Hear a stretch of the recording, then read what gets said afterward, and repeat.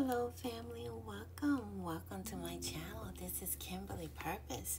Uh, this is one of the American Aborigines episodes, ed- educational episodes about uh, the Southeast Woodland Indians.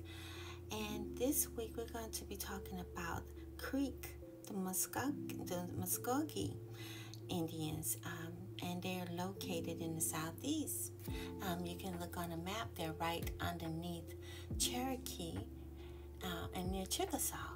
And so they're and they're right above the Seminole and the Choctaw. So yeah, they started off to the in the middle to the right, and you can locate it and you can see it on the map here.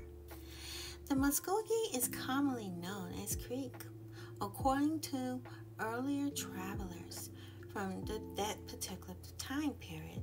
The, from the northeast to the southeast is, is locality.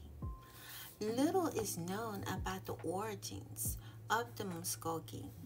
Um, traditionally, the Creek villages were located on the prime locations where where there's very fertile fertile farmland. You know, it's a good spot for farming and agriculture all of the southern rivers and creeks.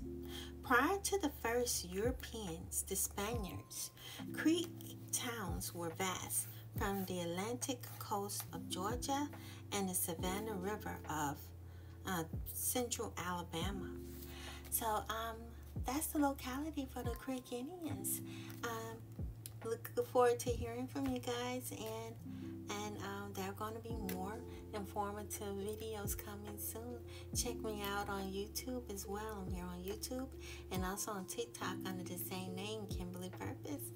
Love and peace. Bye bye.